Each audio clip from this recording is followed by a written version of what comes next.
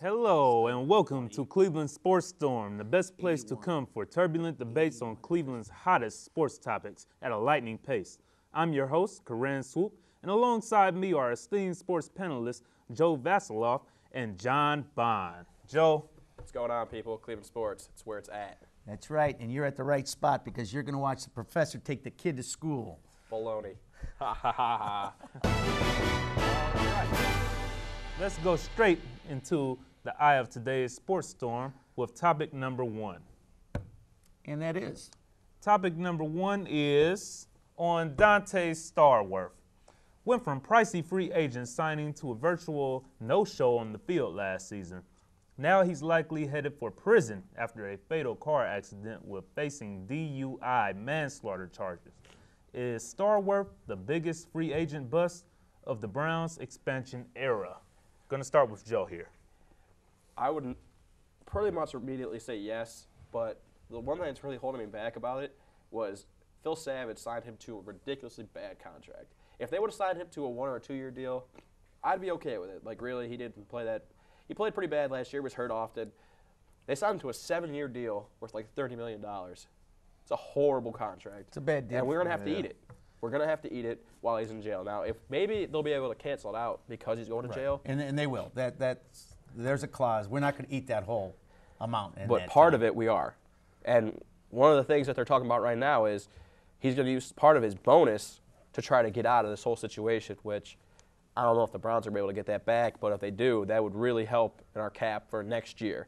So we can possibly sign some more pieces so we can build our defense into the way that Mangini wants So it to be. you in. feel he's the biggest bust we've had since we've started?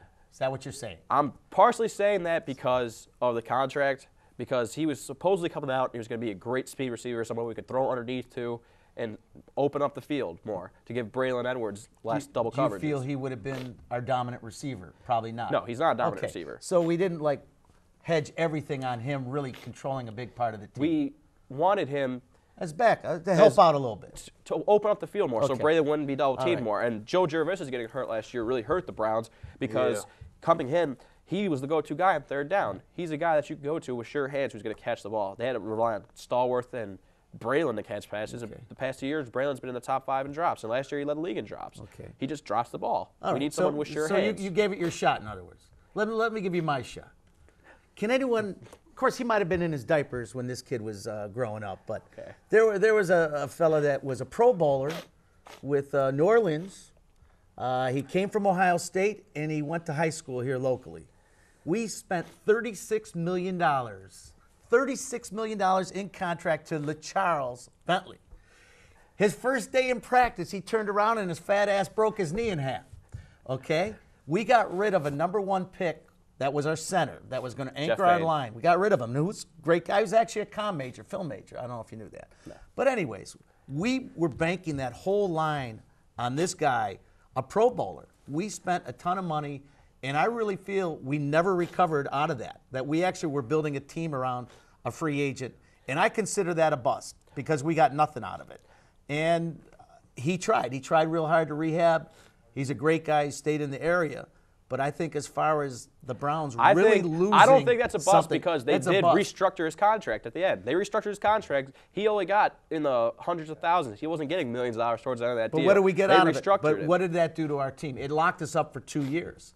It, It didn't really ruined lock us up. We got, ruined we got Hank for Fraley. We got Hank Fraley out of it. He anchors our offensive line. We got Hank Fraley out of that oh, situation. anchors it 'cause he's a big anchor. That's Sorry, about I'm it, going to have to cut good. you off right now because we have to actually move on to topic number two. The Cavs have the best record in franchise history and are dominating the NBA this year. The question now becomes who's really responsible for this success? Is it Coach Mike Brown, the brains behind this operation, or is it really King James? John, we're going to start with you on this topic. Well, you know, LeBron is the most dominant man in all of sports right now. Yeah, so we I- I have to be there because of him. Uh, but I, you have to give something to this coach that actually made this team play defense. And if we're actually going to make it to the promised land, we're going to make it through defense. Whether LeBron dominates the series or not, the rest of the team has to play defense. And LeBron may actually turn into being one of the best defensive players of this year. They say he might win that, which would be kind of interesting. So LeBron obviously is multidimensional and he does it, but I think our coach is very unsung. And I think if another team had LeBron, would they be winning it like we are? Now, I don't know. Is our coach better than most other coaches? I I, wanna- think he is. I, I want to give our coach propers, but LeBron is the difference of us making it. But our coach is a great coach. Coach Mike Mike Brown is trying to teach the defensive aspect of basketball. He's trying to teach a team aspect. Right. He's shortcomings his offense. He hired John. It was uh, John S. I forget his last name. He's from North mm. Carolina. He hired him to basically be an offensive coordinator. Mm. He's the reason the Cavs are really thriving on offense this year because he's game planning for the team. I don't think that this year's success is all LeBron. I think it's mostly Mo Williams. Mo Williams really gelled this team together.